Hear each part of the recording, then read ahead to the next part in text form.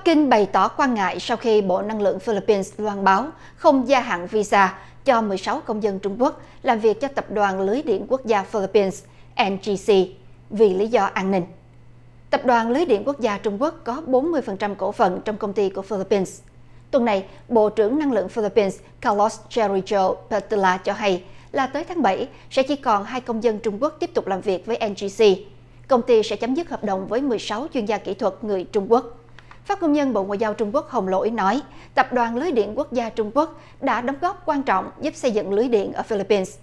Reuters ngày 27 tháng 2 thuật lời ông Hồng rằng Bắc Kinh hy vọng Manila xử lý vấn đề công bằng và hợp lý, duy trì quyền pháp lý của công ty Trung Quốc được hoạt động tại Philippines và tạo môi trường lành mạnh cho giới đầu tư nước ngoài. Khi loan báo việc cắt giảm 16 chuyên viên Trung Quốc hôm 25 tháng 2, Bộ trưởng Năng lượng Philippines nói quan ngại về an ninh quốc gia chắc chắn đóng một vai trò trong quyết định này.